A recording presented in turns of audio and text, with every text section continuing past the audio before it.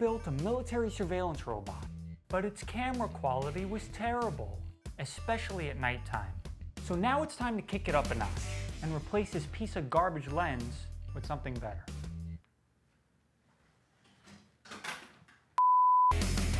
The Pi sensor has an M12 thread.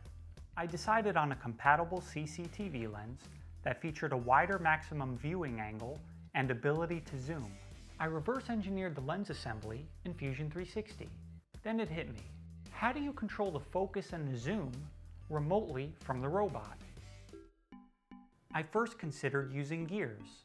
Gear teeth could surround the focus and zoom barrels of the lens and be rotated remotely using DC motors. While there's nothing inherently wrong with this idea, it would require a lot of moving parts as well as full enclosure to stop sand and grit from entering the gear teeth and destroying them completely. I have another idea that can work. This is the robot chassis with the Pi camera sensor installed. I screwed in the lens assembly and designed a new part to mount two stepper motors to. From there, I designed two cams to adjust the knobs. How does this actually work? This is a stepper motor. There are two motors total that each rotate a lens knob via 3D printed cam. Here's what that looks like.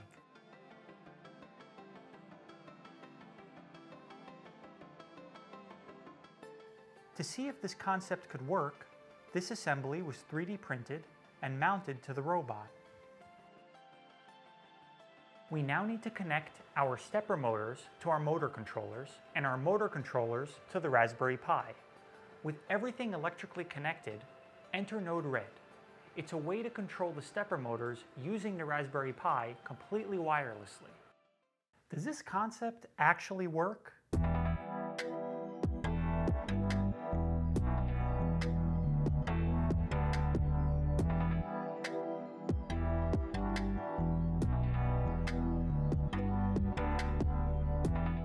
With the adjustable lens now working, I added infrared LEDs a few inches away from the camera.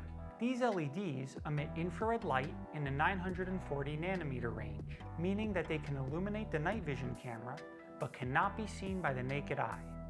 This makes them perfect for covert operations. Here is what the footage looks like. It is clearer than that of the original lens, but the image is still washed out. To fix this problem, I designed the cones of light emitted from the LEDs in Fusion 360.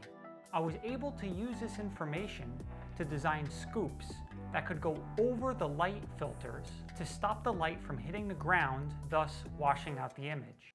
The light scoops made a minimal difference in stopping light from flooding the area in front of the robot. I knew I needed to add a second camera.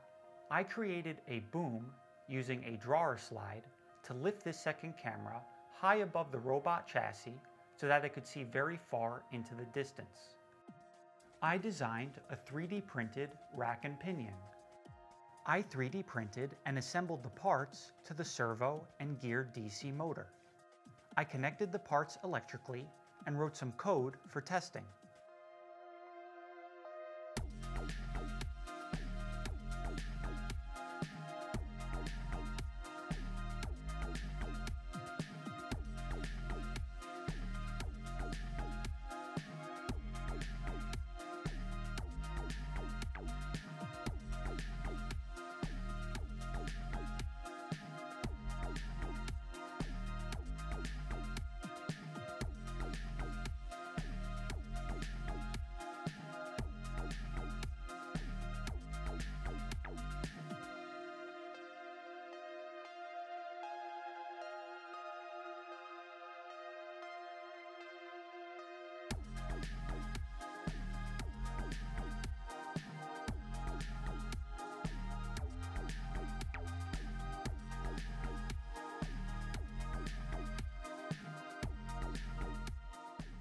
Why was it that I chose this particular camera sensor? The goal of this camera is to see as far into the distance as possible in very low light conditions.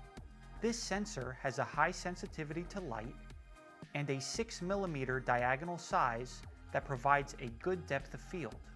I built a simple circuit of three green LEDs to test the effectiveness of the new lens and sensor width. As you can see, the difference between the DSLR and the IMX323 are quite similar. If you saw the original military robot video, you might remember this. This is the old battery pack. And if you remember the old battery pack, you might remember some of the issues that I faced with it. The batteries would often get stuck inside the holder. And when they did, they would not be in contact with the terminals at the ends. When this happened, there would be no power running through the battery pack. The new battery pack solves this problem with a tubular design. It's in two halves, and when the two halves are screwed together over the batteries, there's room for the batteries to move around, but they're held in place from the spring tension of the terminals themselves. In addition, there's a buck converter attached to the top of the battery pack, which converts the 16 volts to 5 volts. All of these additions are great, but there's a lot more I want to add before I can really consider this to be a military robot.